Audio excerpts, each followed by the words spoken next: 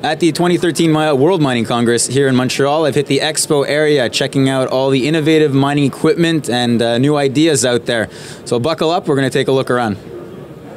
Well, I'm here just chilling out at Precismeca and Romelco Group, just hanging out on their hammock. it's not a hammock. Oh, just give me a second, roll right off. All right. Here with Steve Church and Mark Long. Gentlemen, what, uh, what was I just relaxing on? This is a fixed frame impact garland. So uh, what what that is, as opposed to a, a, regular conveyor idler and roll, this is where the crushers that they have in place will actually drop the oil sands, and it'll be crushed in a in a big, huge, massive crusher, and then it will land on a belt on this impact zone, which would contain 16 to 18 sets of these sets in that in that particular zone. How, how did you guys get this in here? You know what? We were both here actually for the loading of it, and uh, actually was pushed back right to the booth when it first came in. Obviously, forklift uh, was entertaining because the first guy, gentleman, came by, thought he could pick it up with his little forklift, but being about four thousand pounds and everything else, too, had to pull in the big boy.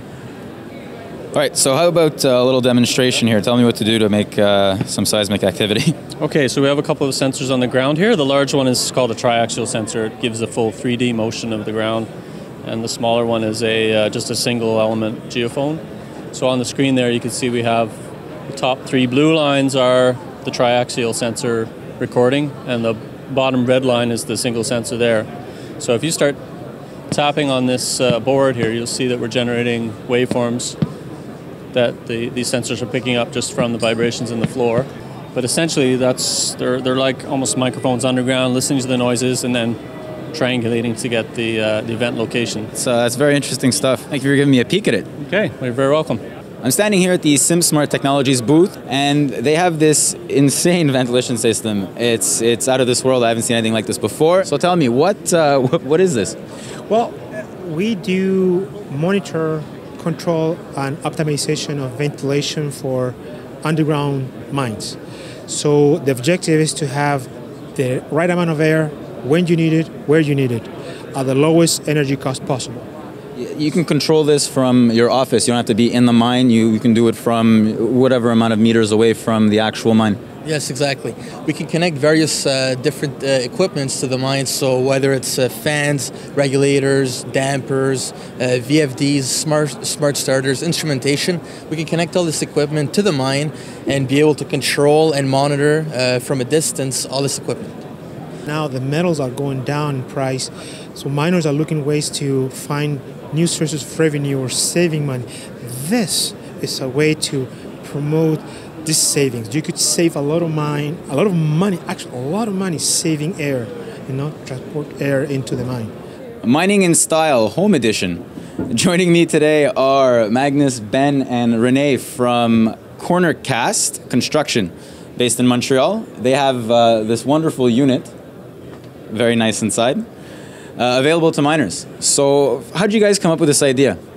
Well, essentially, um, this has been all over Europe for a long time, but they've been using it for student residences and, and homes. So we figured because the container is so portable, why not use it in remote areas for mining operations and oil and gas? Obviously, it's a, it's a great fit. It's a durable structure. It's really high quality, and you can send it to these remote areas for very cost effectively. So Joining me is Dominique Savigny with Smart Use, with uh, an award-winning program uh, device that uh, is going to make life easier for miners. Um, Smart Use is a software for uh, minimize the printing of your plans. We build the software and we build the hardware also.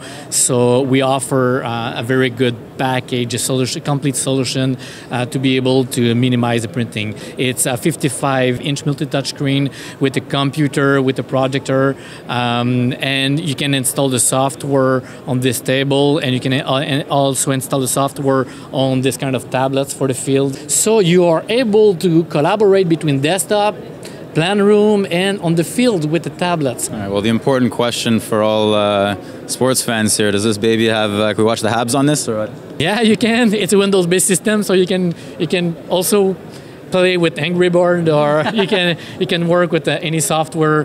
Thank you, for, thank you for showing me. Very, very cool stuff. And that'll do it for the 2013 World Mining Conference here in Montreal. The expo was very innovative, lots of cool stuff out there that uh, miners should be taking a look at. You have any comments or questions about uh, the videos you saw today, newsfeedback at kitco.com or hit me on Twitter at alex underscore Letourneau. Thanks for watching.